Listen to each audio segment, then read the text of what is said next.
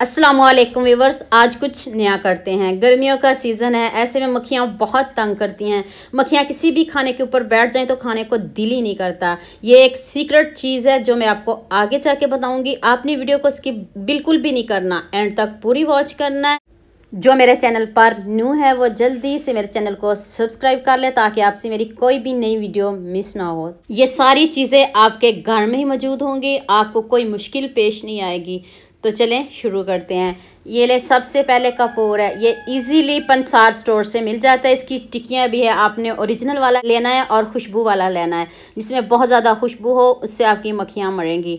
और ये कड़ी पत्ता है। इसका तो सभी को पता है। सभी बिरयानी में यूज़ करते हैं। और कोई भी हम मज़े की डिश बनाएँ तो उसमें ये ज़रूर ऐड होता है। तो ये सभी घरों में मौजूद होता है। ये सरसों का तेल है। तो चलें, शुरू करते हैं कैसे हमने बनाना है इसको। सबसे पहले आपने कोई लकड़ी की स्टिक ले लेनी है जो आपको नहीं चाहिए, वो यूज़ कीजिएगा। कपूर में खुशबू बहुत ज़्यादा होती है और फिर बाद में आपने इसको अच्छे से वॉश कर लेना है। और जिसमें भी आप इस कपूर को पीसें तो वो बर्तन दोबारा मत यूज़ कीजिएगा, उसको आपने फिर सेपरेट रख लेना है, दोबारा से आप इसको यूज़ कर सकते हो। इस तरह बारीक सा पाउडर बनाना है। और ये वाइट कलर में होता है तो ये देखिए इस तरह का मैंने बारीक सा पाउडर बना लिया है। अब आपने कड़ी पत्ता लेना है इसके ऊपर रखें। आप अपने हिसाब से जितने आपने ज़्यादा घर में मक्खियाँ हैं, जितना आपने बनाना है, कोई इसका डर नहीं है, कोई इसके साइड इफ़ेक्ट नहीं है। मक्खियाँ तो आपकी एक दिन में ही छू मंतर हो जाएँगी। और ये देखिए मैंने इसके ऊपर पाँच से छः अदद कड़ी पत्ते रखे हैं।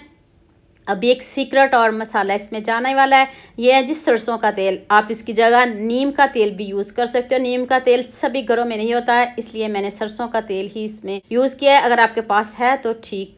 तो अब आपने इसको जलाना है। बहुत जल्दी आग इसको लग जाएगी, ये देखिएगा।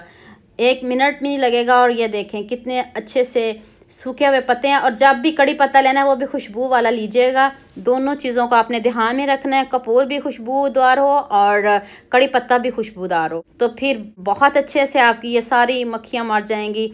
क्योंकि ईद के दिन है तो आप सभी घरों में शीर खौरमा भी बनता है।